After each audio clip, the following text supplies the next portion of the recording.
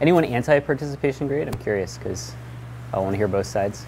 Paul Niehaus is poised to discuss a tale of government corruption. The irony here is the people that don't talk. But first, the UC San Diego associate professor has to engage his graduate economics students. On behalf of all introverts, this is the moment to speak.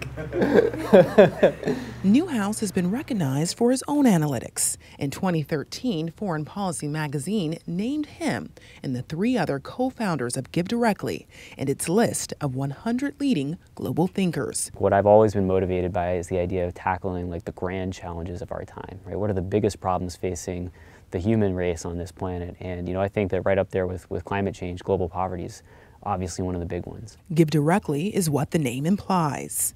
People donate money online to the New York based charity. Operators estimate 85 to 91 percent goes directly to people living in extreme poverty in East Africa. If you're thinking that sounds crazy, uh, you're right. I mean, it's crazy that that hasn't existed. It seems so obvious. Give Directly recipients, on average, live on about 65 cents a day. Giving up that latte, giving up a, you know, a coffee or a dinner out, something that doesn't really make a big impact in my life, can have a huge impact on the life of someone in Africa. Give Directly uses data, old fashioned door to door visits, and physical indicators of poverty, such as thatched roofs and mud walls. If you can afford it, you really want to have a metal roof. Um, if you're really poor, then you have the thatch roof. Um, it turns out it's also one of the most popular things that people do with the money. Families receive a one time grant of about $1,000 or one year's salary. The money is transferred via mobile money system, where cell phone use is more prevalent than clean water. This is about instead of us as donors and aid workers having the power and deciding what happens, it's the poor having that power to decide for themselves. These grants are unconditional.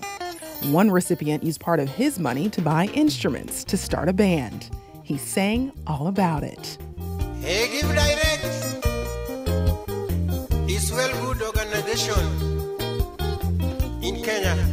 And there's Margaret.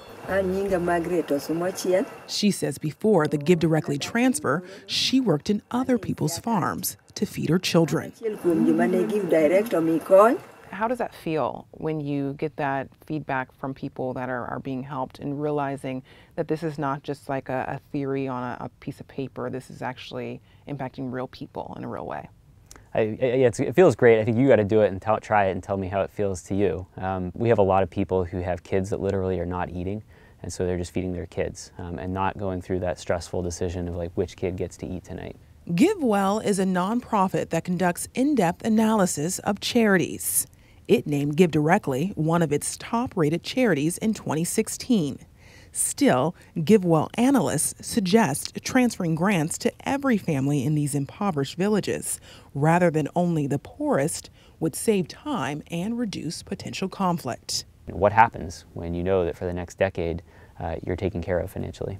Give Directly is raising millions of dollars to test it out with its basic income experiment. Every adult in a Kenyan village will receive about 75 cents a day for years. Backers say it will be the largest experiment ever. We think it's a fascinating debate. Right? We do think that cash transfers should be playing a bigger role, and basic income is one form of cash transfers. Uh, we also think there hasn't been enough of that rigorous testing yet. Since going public in 2011, Give Directly has enrolled more than 80,000 families, committing $70 million to people in Kenya, Uganda, and Rwanda. Recipients call a hotline to give status updates, which Give Directly makes public. Here's a woman who has an alcoholic husband that she deals with. But the point about this is that you can go through this and find some pretty raw stuff, right? Like, I don't think most charities would let you see what poor people have to say about alcohol. GD Live is in line with Give Directly's transparency goals and vision to reshape international giving. The reality is, the whole system is built on the idea that we have to decide for poor people what they should get. And you got to question that, right? Like, it's not obvious that the model, like, poor people get what over donors think sounds cool, is a good way to make decisions.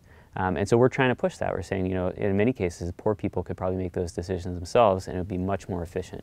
Technology makes it possible. Give Directly estimates it costs 9 cents for every dollar sent and says research shows it works. A randomized controlled trial found no evidence of widespread abuse of funds. you know, at the end of the day, it should be grounded in data and not in our own prejudices, stereotypes, fears.